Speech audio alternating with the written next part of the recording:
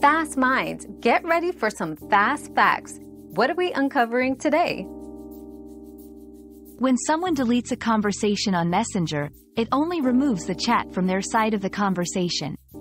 The conversation will still appear in your Messenger, and you can continue to access the chat history unless you choose to delete it yourself. Important to note, deleting a conversation does not remove any messages from the recipient's inbox.